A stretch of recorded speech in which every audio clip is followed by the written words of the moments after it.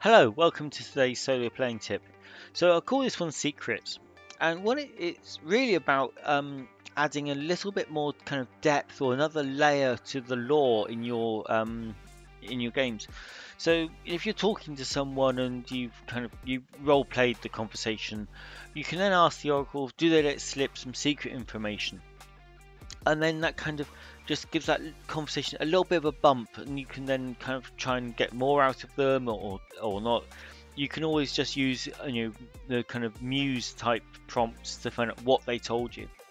Or if you're in a location, you can maybe put some like runes or um, you know some secret markings um, you know into the actual location description itself. And then when you create them, you have no idea what they mean, but uh, as you explore, you know, try and rationalize what they meant, you know, who created them, why. And the idea is to kind of put another just layer of information into your NPCs, locations, or um, events. Okay, uh, that's it for today. Thank you for watching.